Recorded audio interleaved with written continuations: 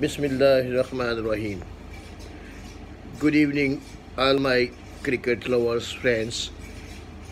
Today, UAE under 19 Asia Cup squad played a match in Sri Lanka against Tamil Union Cricket Club.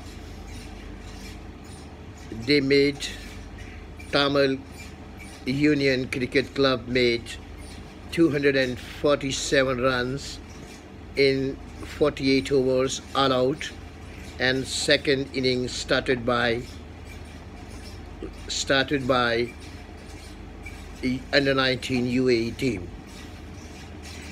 And our team of UAE under 19 they made 187 runs and all out and they lost by 60 runs even though even though the place was new for the players UAE players. Pitch was new weather was climate was new and it was very appreciable efforts by under 19 UAE team. So that uh, inshallah tomorrow uh, our team will play against Afghanistan, I think so. And inshallah, I will update you uh, tomorrow.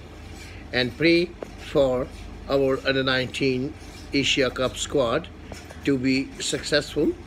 And uh, I will be thankful to you if every cricket lover, my friend, will subscribe my this channel for further uh, cricket videos, cricket matches video. I would thankful to you if you will do so.